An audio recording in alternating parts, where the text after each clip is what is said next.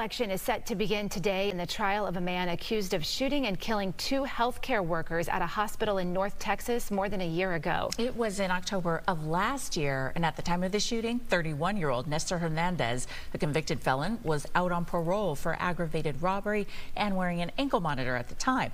Now, he had permission to be with his girlfriend for their baby's birth in spite of previous parole violations. Months before the shooting, Hernandez was arrested for cutting off his ankle monitor. Hernandez is charged with capital murder and assaulting a police officer, too.